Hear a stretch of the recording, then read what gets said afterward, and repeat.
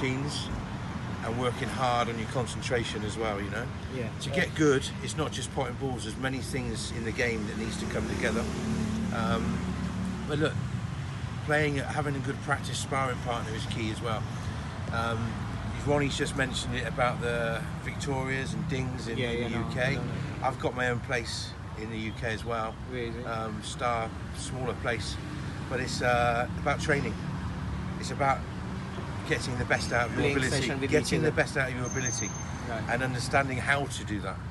Um, so yeah, just keep it up, keep it up, and wish you all, the luck, you. all the luck in the world. Okay, work And- hard, mate. Work hard. Can I ask something? Which one is the best practice and uh, routine? There's the- loads of different routines that you have to work on um, on the table to help your action. I, I won't be able to explain them. I'd have to show you.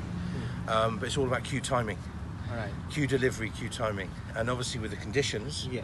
When you've got a nice cue action, when you go and play on heavy conditions, you have to understand how to play on that condition. Yeah. Um, Ronnie's obviously the best in the world at world, changing. yeah, yeah, he can change his adapt to anything Yeah. because his action is pure, very pure the way he strikes the ball. Um, similar to myself and Robertson and stuff like that, you know. Um, but yeah, look, when you're on a fast table, it's obviously a lot easier. Yeah. Uh, heavy conditions are tricky, Tricky. uh, very tricky, Yeah. because you haven't got that much time to adapt in a match. Hmm. Um, so it's just preparation, really, finding out, finding out what you've got in your own ability. Hmm. Um, so listen, I wish you all the best anyway. Thank Thank you. Pakistan snooker. Can I take the-